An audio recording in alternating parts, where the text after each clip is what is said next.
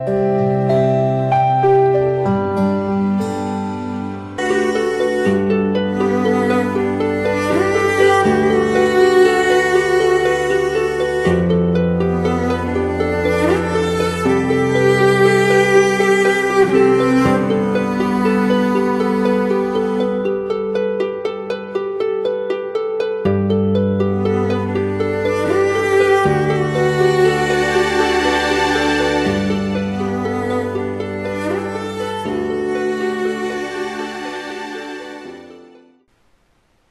មានបំណងប៉ុនប៉ងធ្វើលើកូនខ្ញុំអញ្ចឹងហ៎បងកូនខ្ញុំក៏រត់ទៅដល់កន្លែងកើតហេតុនឹងភ្លាមគឺគេធ្វើមកកូនខ្ញុំដាក់មកវិញភ្លាមមកភ្លាមភ្លាមហ្នឹងហ្មងបងតាមគេឃើញហ្នឹងថាគាត់ធ្វើនិយាយទៅគាត់រត់ទៅមកអាហើយភ្លាមគាត់រត់ចូលផ្ទះគាត់ភ្លាម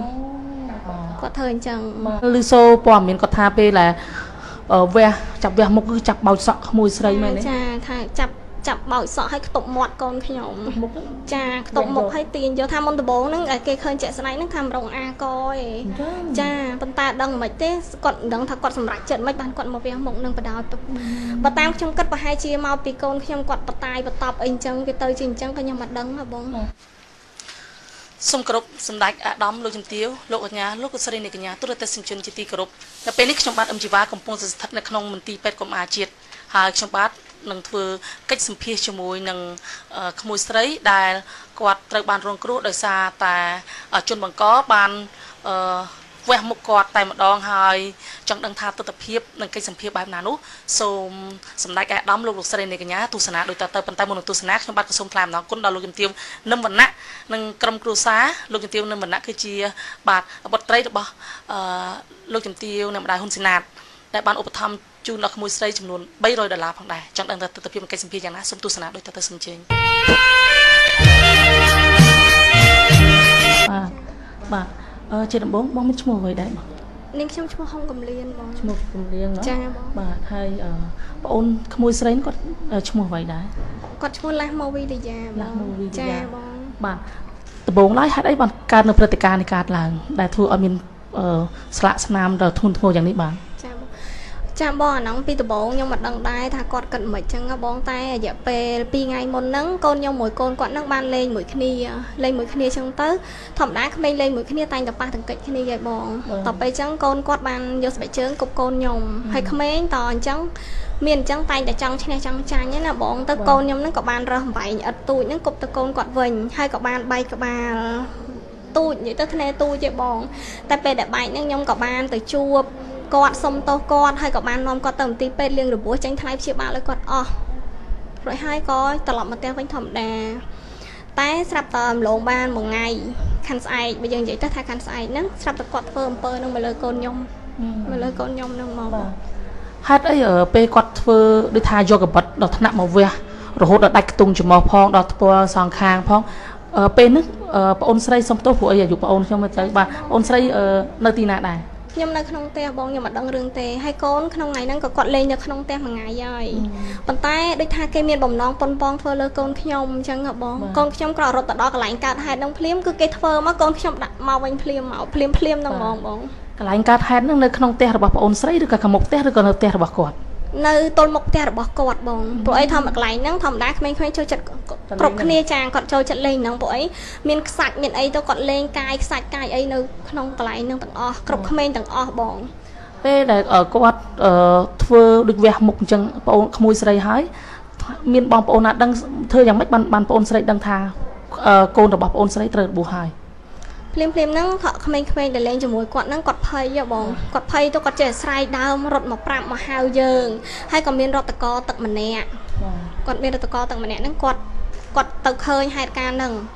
គាត់ឃើញហេតុការណ៍ហ្នឹងជាក់ស្ដែងគាត់ក៏នាំកូនយើងឃើញក្មេងៗរត់មកប្រាប់យើងគាត់ក៏នាំកូនយើងមករកយើងមកហើយគាត់មុនដំបូងគាត់ឃើញហេតុការណ៍ហ្នឹងដែរគាត់គិតថាគឺជាការធ្វើលេងគាត់នឹកស្មានថាមានដល់រឿងហ្នឹងកើតឡើងអញ្ចឹងហ៎បង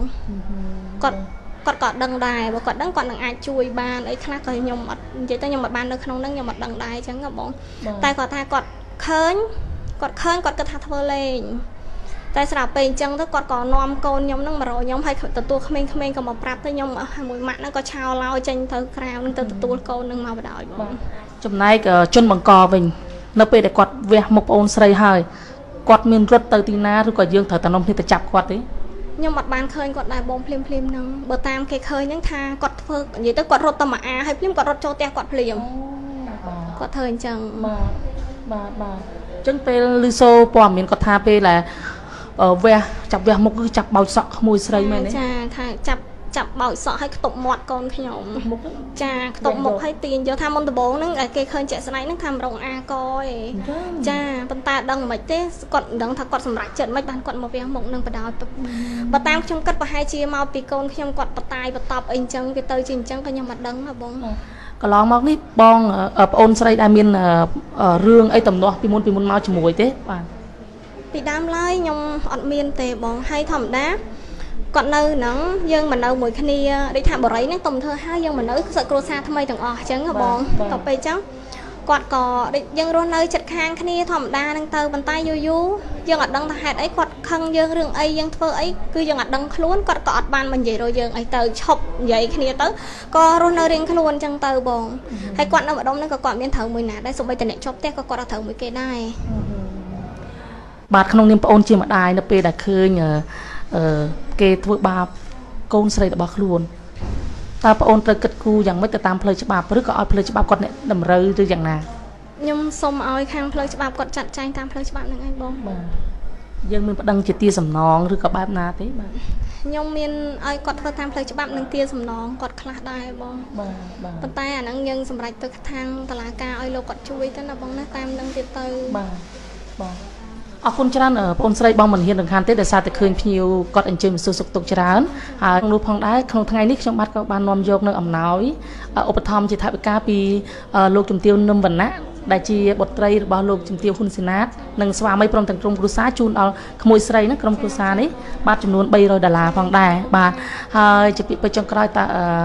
បងអូនស្រីមានពាក្យពេចន៍អីទេដើម្បីថ្លែងអំណរគុណដល់អឺសប្បុរសជនយើងបាទ ចាបងក្នុងនាមខ្ញុំជាម្ដាយខ្ញុំមានតម្រាមដៃ10លើកអរគុណទាំងអស់សប្បុរសជនទាំងអស់ដែលបានជួយក្នុងខ្នះខ្នែងក្នុងការមើលថែកូនខ្ញុំយកចិត្តទុកដាក់នឹងកូនខ្ញុំជាពិសេសនៅមន្ទីរពេទ្យនេះពេទ្យរបស់មន្ទីរពេទ្យកម្មាជាតិនឹងគាត់ក៏ជួយយកចិត្តទុកដាក់លើកូនខ្ញុំដែរខ្ញុំសូមអរគុណគាត់មែនទែនបាទហើយក៏អរគុណទាំងអស់បាទបាទ អរគុណពីកម្មវិធីរបស់យើងតំណាងឲ្យលោកជំទាវនឹមវណ្ណៈនិងក្រុមគ្រួសារក៏សូមជូនពរចំពោះបងអូនស្រីឲ្យមានសុខភាពល្អនិងអឺក្មួយស្រីឲ្យជាសះស្បើយពីជំងឺឆាប់ឆាប់ៗនេះណាអរគុណជម្រាបលាបាទ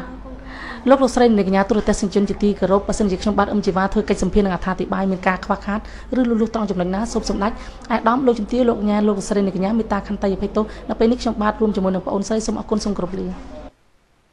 គេមានបំណងប៉ុនប៉ងធ្វើលើកូនខ្ញុំអញ្ចឹងហ៎បងកូនខ្ញុំក៏រត់ទៅដល់កន្លែងកើតហេតុនឹងភ្លាមគឺគេធ្វើមកកូនខ្ញុំដាក់មកវិញភ្លាមមកភ្លាមភ្លាមហ្នឹងហ្មងបងតាមគេឃើញហ្នឹងថាគាត់ធ្វើនិយាយទៅគាត់រត់ទៅមកអាហើយភ្លាមគាត់រត់ចូលផ្ទះគាត់ភ្លាម